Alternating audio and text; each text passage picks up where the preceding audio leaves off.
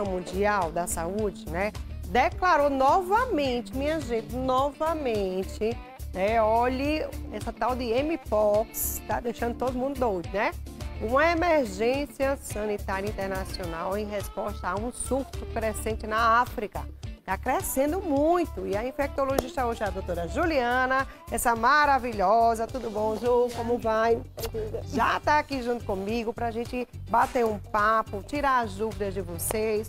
Você que está em casa, se quiser também participar do nosso programa, manda aí no WhatsApp para a gente, manda sua pergunta, fiquem à vontade, tá, minha gente? E participa aqui do nosso programa. Vamos deixar aqui o contato para que vocês possam já gravar no celular de vocês e quando precisar fazer alguma pergunta, manda rapidinho, tá certo? Ju, mulher, tudo bom? Envipox, olha, tá dando o que falar já esse negócio, a gente já tá ficando meio assustado, né? Socorro, né? Socorro, o negócio tá crescendo muito, já já tá aqui. Se é que já chegou caso para cá pro Brasil, eu já escutei aí que chegou. Minha gente, eu já tô ficando preocupada, viu? O que é, que é essa Mpox? Explica um pouco mais para a gente, Gil. Vamos entender primeiro o que é uma emergência. Sim. Né? Então, é, Nízia falou o quê? Que o Brasil está em nível 1 de emergência. O que é que significa isso? Significa que não tem a cepa nova no nosso país. Então, ainda não chegou. A que a gente tem ainda é a cepa de 2022. O nível 2 é quando encontra a cepa nova, só que veio de fora. A gente chama de caso importado. Nível 3 teve transmissão dentro. Então, tem um caso autóctone, ou seja, do nosso país. Nível 4 tem uma, tem uma transmissão sustentada. E nível 5, socorro Deus, epidemia. Então, só para dizer, nível 1 de emergência quer dizer, tá tudo tranquilo. Calma que a cepa não chegou, pelo menos por enquanto. Por enquanto. E o que é que é Mpox? Mpox é um vírus certo? Foi descoberto pela primeira vez em macacos, por isso que chama de monkey, chamava monkeypox. Tiraram o monkey porque estavam matando os coitados macacos. Coitados macacos, Aí ficou macacos. Não tem só em macacos, então tem roedores selvagens, tá? Mas, mas foi descoberto primeiro em macacos, por isso que tem esse nome. Então é um vírus que tem transmissão por via sexual, por contato com as lesões de pele, que daqui a pouco a gente fala como que são as lesões, e por gotículas de saliva. Ainda não se sabe se o leite materno passa, tá? Ainda está fazendo estudos, ou se é o contato próximo com a mãe contaminada que transmite. Certo, bora lá. É verdade que a contaminação maior é por via sexual em homens? É mais homens? Foi visto no Brasil, certo? Que o maior índice de casos foi em homens que fazem sexo com homens. A gente não sabe se porque procuram mais ajuda, procuram mais um médico, né? Mas foi visto isso. Bora lá, o que fazer? Caso de suspeita. O que fazer? Corre para onde? Coloca o quê? Toma alguma coisa? O que é que pode se fazer, né? Antes de acontecer. Minha gente, eu tô olhando aqui essas imagens. Deixa aberta aqui, Duda. Ah, Maria, dá uma agonia, gente, ficar olhando essas imagens, mas ó, você que está em casa. É bom ver porque já vai, né? Quer falar dando... como que são as lesões, já que Bo tem imagem? Pode ser. Bora falar dessas lesões e depois você fala da, da suspeita de caso, caso a gente suspeite. Pronto. Bora lá. Começa com lesões avermelhadas, Sim. certo? Que depois se elevam e viram vesículas ou bolhas. Tá vendo que tem Parece uma bolinha? Catapora, né?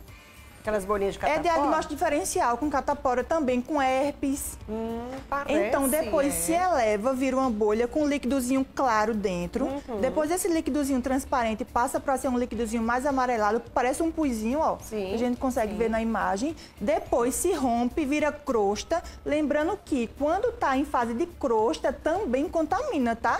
Tem que deixar cicatrizar totalmente. Então, você contamina, você transmite. Sim quando apresenta os primeiros sintomas, que geralmente tem lesões, praticamente 100% das pessoas com hemipóx têm lesões de pele, certo. febre, adenomegalia, que é aquela íngua dolorosa. Aqui, né? É, dor certo. de garganta, pode ter vômito, e geralmente associada a lesões de pele. Então, começa a transmitir nesse momento até cicatrizar completamente. Então, quando está a casquinha, a crosta, ainda transmite. Ah, eu vejo muita foto daquelas escurinhas assim. Isso é a crostinha já? É, Então? quando tem a casquinha é Já a é crosta. casquinha? ainda transmite, tem que deixar cair a casquinha para poder Caramba, É. eu vejo muito em fotos né, na internet essa crostinha, então, essa, essa casquinha. Deve Em média- casquinha, porque é um escurinho. É, em Umas mé- bolas assim escurinha, maiorzinha. Em média, duas a quatro semanas entre o começo dos sintomas e a cicatrização total. Então, demora um pouquinho. Demora, né? Quanto tempo mais ou menos a pessoa fica com, com essa doença?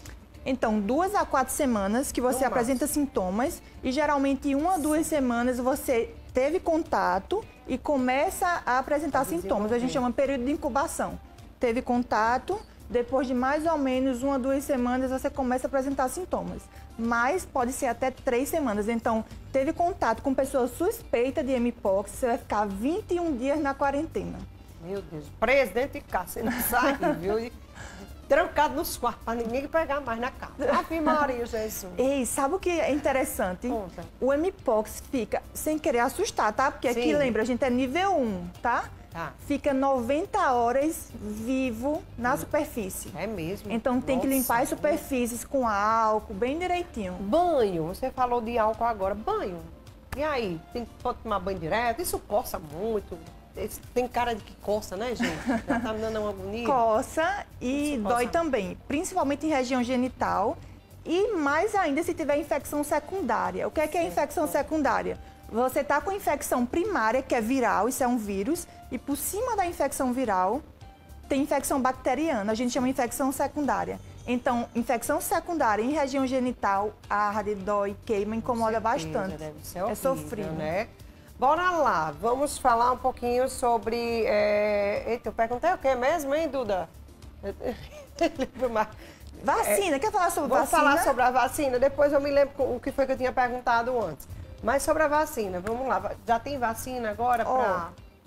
Ah, antigamente tinha vacina contra varíola humana, Sim. certo? Então são do mesmo gênero. Apesar de serem vírus diferentes, estão ali parecidos. Então, a vacina contra a varíola humana parou de ser produzida em 1980. Por quê? Porque foi erradicado do mundo a varíola humana.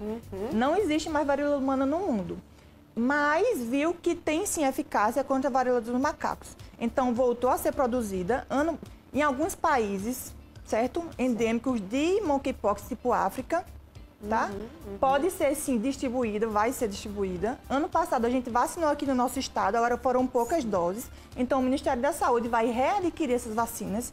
Então ela vai voltar novamente a ser produzida. E aí são duas doses. A vacina mais nova é a Ginos, que você faz uma dose, depois de um mês faz outra. Aí a pergunta, todo mundo pode se vacinar? Não. A OMS não Ai, indica. Indica só para homem que faz sexo com homem, profissional de laboratório que tem contato direto com vírus, usuários de PrEP, que é aquele remédio que usa para evitar contrair HIV, tá? É, e pessoas que tiveram contato com pessoas suspeitas ou confirmadas de Mpox. Então, por enquanto, essa é a indicação de vacinação. Então, eita, quando vai chegar para todo mundo se vacinar? Calma, por enquanto não tem indicação, apenas para essas pessoas, esses grupos que eu falei. Então acaba criando um pouco preconceito. Ah, então é só homem que faz sexo com homem. Não. Todo mundo que tiver contato com a lesão, todo mundo que tiver contato próximo com quem tiver contaminado pode contrair. Então, deixe disso. Então é cuidado, só né? um, um- um grupo prioritário, porque é imunossuprimido, por isso. Maravilha. Vou continuar já já com você, mas antes, gente, ó, Joana tá aí ao vivo.